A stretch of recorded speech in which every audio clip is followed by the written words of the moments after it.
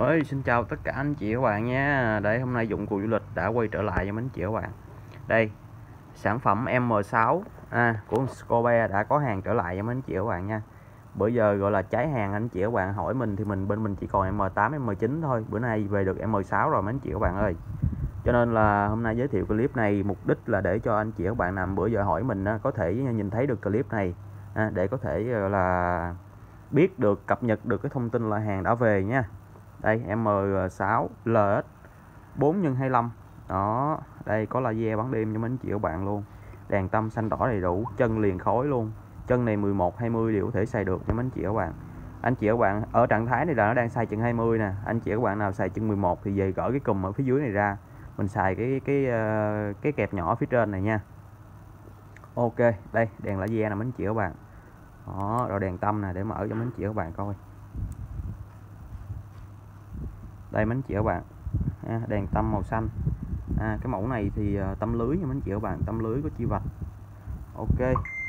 Đó, nhỏ gọn thôi mấy anh chị các bạn nha. Đây là một cái dòng gọi là nó thiết kế như red dot vậy à, đây là một cái ờ, gọi là cái kính ngắm mini. À, có hỗ trợ là laser ban đêm xanh ơi là laser chỉ đỏ mấy anh chị các bạn. Đây chỉnh tâm trái phải lên xuống luôn. À, chỉnh laser được luôn nha mấy anh chị các bạn. Ok đây quay ra ngoài trời cho mấy anh chị các bạn coi thử nha.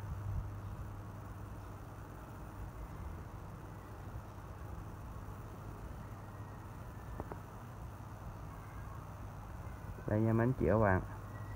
Đó. Đây. Để mình cố gắng quay uh, cụ rõ nhất có thể cho mấy anh chị các bạn coi nha. Do là bây giờ ở ngoài trời với trong nhà ánh sáng nó khác nhau rồi.